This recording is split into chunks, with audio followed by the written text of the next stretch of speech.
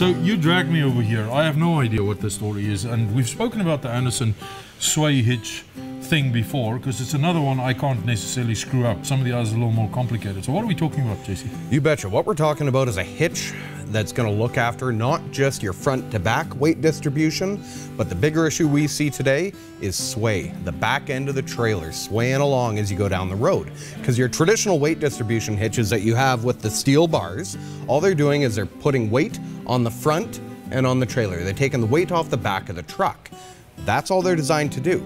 But when we do that, there is movement on the back of the trailer. That back end is just gonna kick everywhere. So that's what's called a sway control, and a lot of people get them confused. I know in the old days they say don't pack the stuff in the back of the trailer because that puts too much weight in and, and you're guaranteed to get sway. You but bet. I know also when you've got strong wind coming your way, then the trailer is more inclined to sway because of the wind wind resistance as well. You bet. So solution, come on. And that's back in the day is is we used to have the axles further back.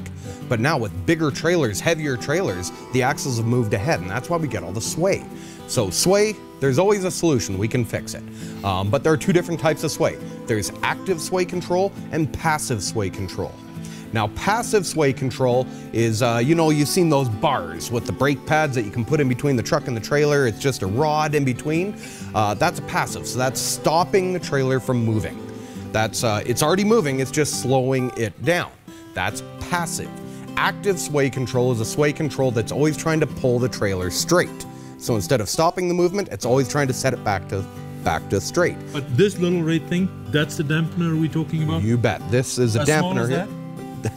That's just a little two-inch dampener. That's all it is.